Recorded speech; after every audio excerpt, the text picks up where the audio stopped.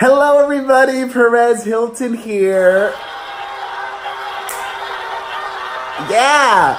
And I was trending on Twitter today because of that dancing video that I made a couple of days ago. How do I get this to turn off?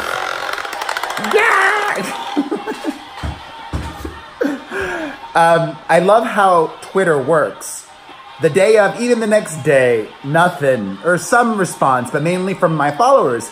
Now, that dancing video that I made to Legs from RuPaul's Drag Race has taken off, and 95% of everybody retweeting my dancing video is telling me that I'm the F word, that I'm fat, that I'm ugly, that I'm turning them straight, and I love it!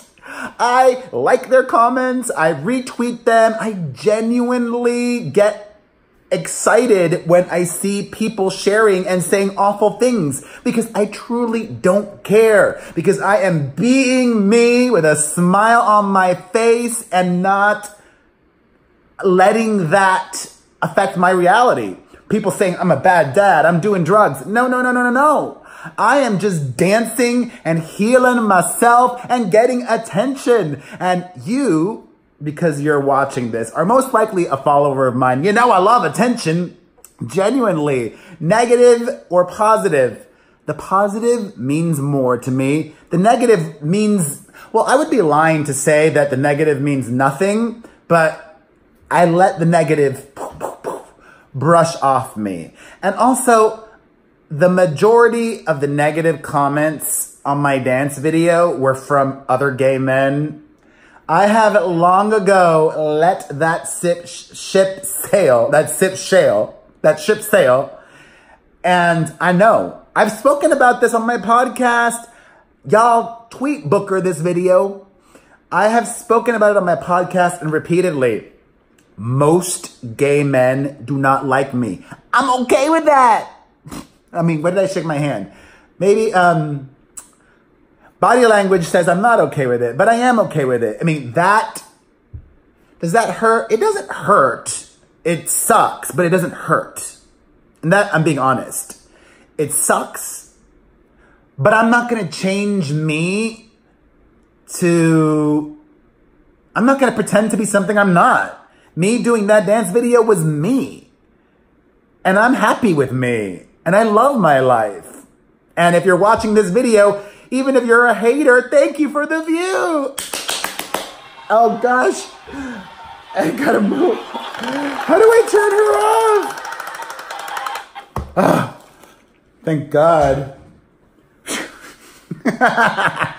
Anyways, if you are a gay and you're watching this, whether you like me or not, please I ask you, delete Grindr from your phone. I stopped using that five, six years ago. And I'm not even checking the dating sites anymore, but Grindr specifically, if you don't know this, please, if you're a woman who also has gay friends, let them know this. This is important. I just found out this because I've clearly been living under a gay rock. Grindr was sold by their gay founder and is now owned by a Chinese conglomerate. And the president of Grindr is homophobic. The president of Grindr, this gay app that is mainly used for hooking up, was quoted on Facebook in his personal Facebook page as saying that he does not believe in same-sex marriage sashay away. Anyways, some people are so easily triggered. And I love it because you know what I love to do, stir the pot. I'm hearkening back to just that Scott Disick photo the other day or asking if Demi Lovato should be drinking from a champagne bottle, non-alcoholic beverages. 15 years later, your boy is still here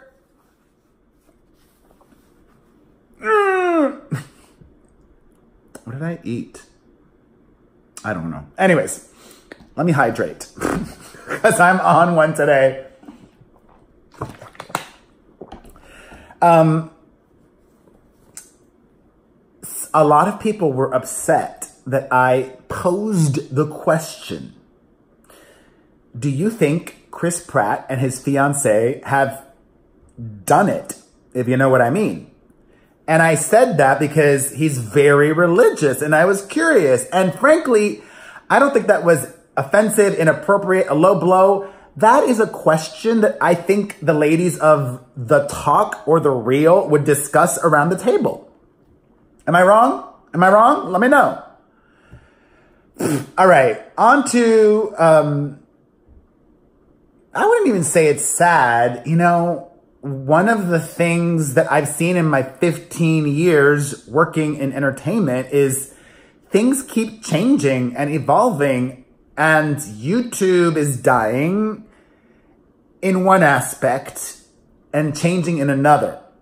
I've observed this for a while now, but creators, for the most part, have been pushed down by YouTube and brands and TV shows that post on the platform are, are a lot more promoted or just, it's what it's supposed, it's mainly about almost, I would say, uh, for the masses. Young people, probably not the majority of my audience.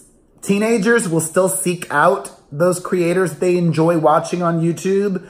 But the mainstream, they'll just go watch a clip from Carpool Karaoke or Ellen or Lip Sync Battle or whatever it may be. well, YouTube has just made a change that is going to directly affect and negatively impact, if not force a bunch of prank channels to reinvent or become extinct. YouTube in the wake of the Bird Box challenge and that Paul brother, I don't even remember which one, um, who posted a Bird Box challenge video and YouTube yanked it down. They basically have now changed their policy, YouTube, letting their creators know that any dangerous stunts or pranks that could entice or encourage others to do the same are no longer allowed. And I don't follow prank content, but there are so many prankster YouTubers on there. There's prankster dads and moms, prankster couples, pranks, pranks, pranks, pranks, pranks. And, you know, that kind of content does well on YouTube, but this is going to severely impact those people because there may be some trolls out there, and I could care less. Do you, whatevs. But there may be some people out there who are jealous of people with a lot of followers on YouTube or whatnot and may start flagging videos as inappropriate. And a lot of prankster videos may be now starting to get flagged and removed. You know, that's stupid.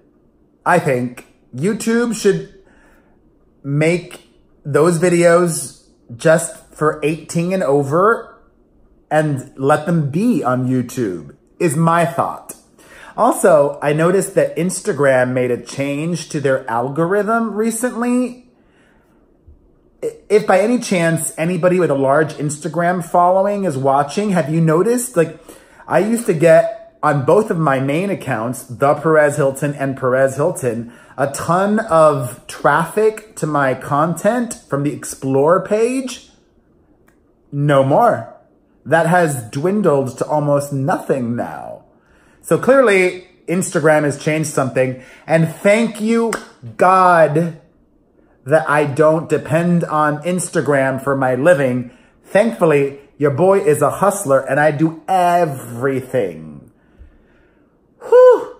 Anyways, also, I've really been slaying the Cameo game. Shameless plug here.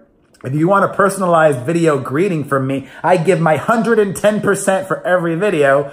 For just $27.27, you can get one too on the Cameo app or directly at cameo.com slash Perez Hilton. All right, from that YouTube drama to some more drama, Ajajai, Mariah Carey is suing her personal assistant over blackmailed videos.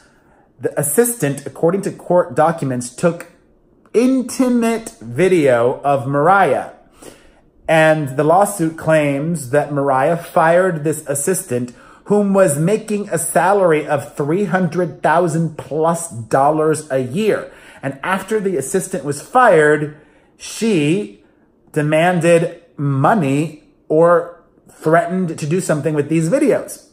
Well, I have some exclusive information for you all. A lot of lambs don't like me, but I know some very well placed folk in Mariah's world. And sources tell me that those intimate videos that the assistant took of Mariah allegedly were of Carey during manic episodes. And Mariah has previously spoken out about her very serious mental health issues.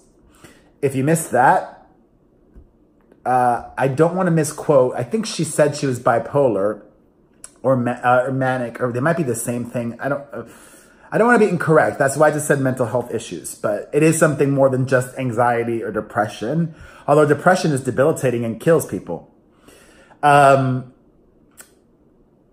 as a result of Mariah suing her assistant, the assistant countersued, making all sorts of mind-blowing allegations. The assistant is alleging racism and physical abuse, not just from Mariah, but also from Mariah's former manager, Stella, whom Mariah also fired. And then as a result of that lawsuit, which claimed that the assistant was called the N-word, the assistant in the lawsuit claims that she was urinated on? Are you serious?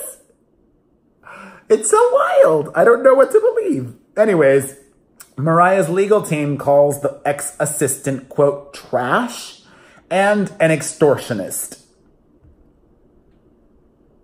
Wow. Wow. I wish I almost had my podcast five days a week. Not really, but twice. I would do it if the money was there. It's not there yet. So if you listen to the podcast, help us grow it. I'm shameless. Leave a good review, tell our friends, all that jazz. All right, an update on Rob Kardashian and Blac Chyna earlier this week. I told you all how he's been hanging out with this love and hip hop star, Alexa Sky, the same reality star who just a few days earlier got into a fight with Blac Chyna at a club. Well, Blac Chyna and Rob Kardashian's legal drama is ongoing, and the very latest Sol Solve Bali play from Blac Chyna's lawyers, they allege that Rob Kardashian likes being scratched. Therefore, it was okay for her to attack him. That he likes when his women are rough with him.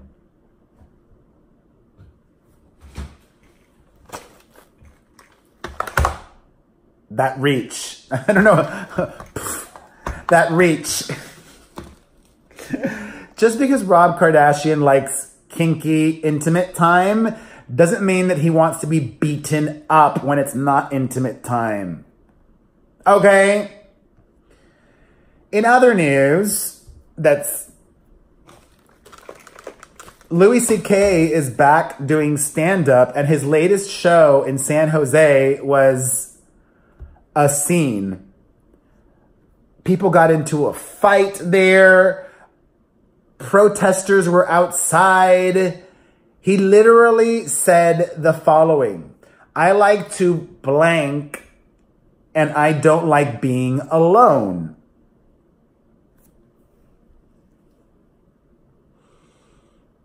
What else? You know what? He was able to get an audience and some people enjoy him and whatevs.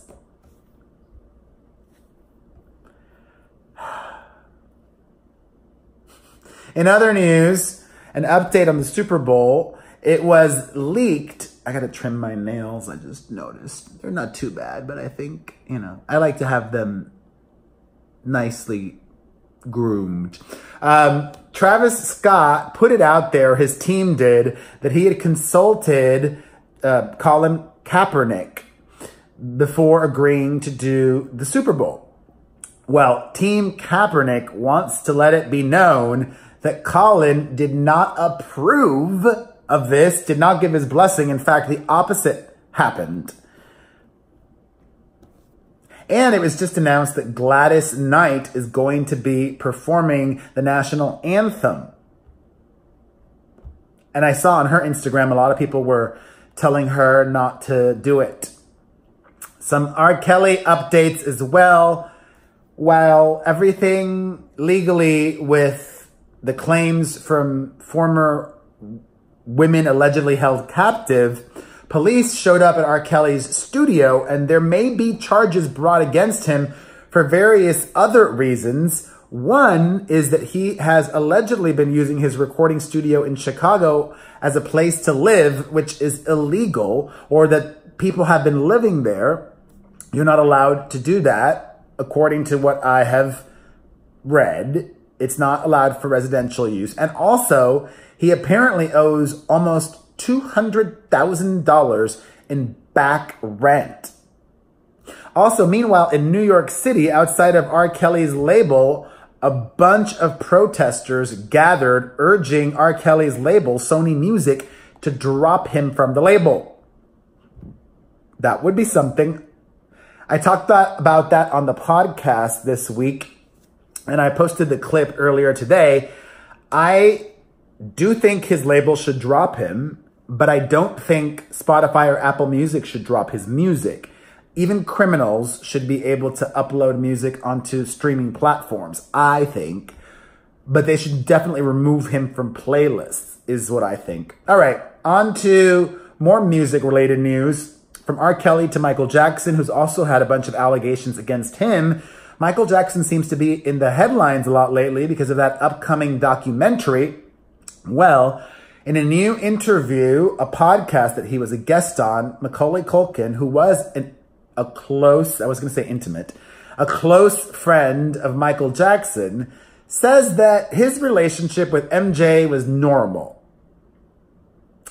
I've spoken about this before when discussing Drake's relationship with Millie Bobby Brown. That ain't normal. that ain't normal. That was not normal what I just did either. Somebody should take a screen grab of it and try to use it against me. Because I don't care. Um, all right, on to other news. From music news to some film news. The Disney Empire, Disney Studios specifically, is going to be doing yet another live action remake of one of their animated films. This time, The Hunchback of Notre Dame which may be their least successful. I have zero desire to see that. I don't even know if I if I know any of the music from that movie. Oh well, but the same folks that did the music will be working on the live action reboot or remake. And Josh Gad, who was in Beauty and the Beast, is supposedly going to be playing the Hunchback.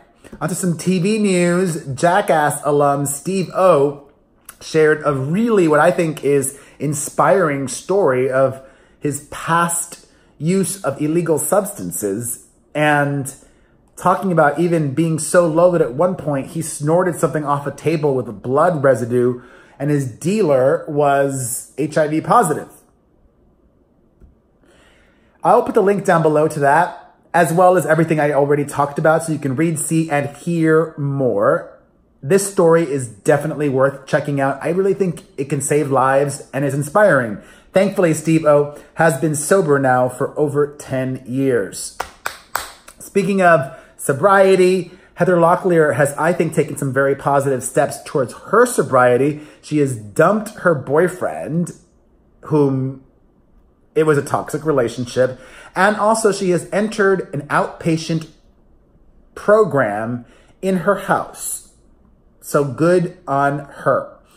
In other news, more positive news, some relationship news.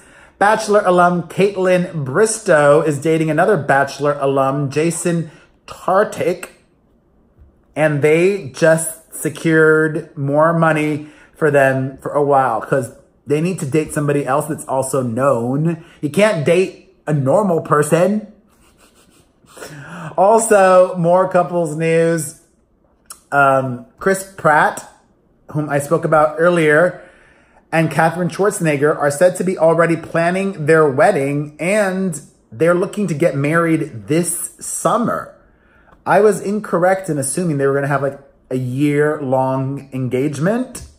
Nope, getting married this summer and possibly somewhere on the East Coast. Speaking of weddings, Justin Bieber and Hailey Bieber uh, are planning their wedding. And I mentioned earlier that it was going to be soon. New information actually claims instead of late February, it's going to be early March and somewhere on the West Coast. We don't know where yet. Speaking of weddings, I mentioned also Demi Lovato was uh, a bridesmaid at one of her dear friend's weddings. Well, she did not take part in that 10 year challenge, Demi, and she made sure to let everybody know that. She said on Instagram story, too busy living in the moment to do the 10 year challenge, but not too busy living in the moment to not post that. On to some baby news. According to reports, Meghan Markle and Prince Harry do not know the gender of their baby. And I've noticed something. All of the wild stories of Meghan Markle and her family have stayed in 2018 for the most part. 2019 is all about Meghan Markle versus Kate Middleton. That's how the media works.